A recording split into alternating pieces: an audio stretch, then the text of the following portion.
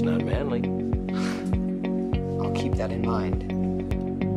James, I'd like to ask you a question. I don't have sufficient energy to stop you. Come on, serious.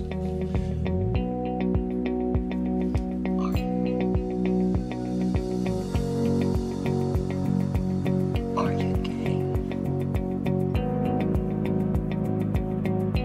Because I ordered salad? No, I just want to know.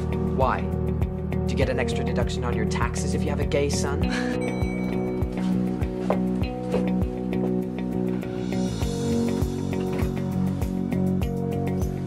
you look fine, Dad. Maybe if you didn't date women who are young enough to be your daughter, then you wouldn't be so self-conscious. No, I'm not self-conscious.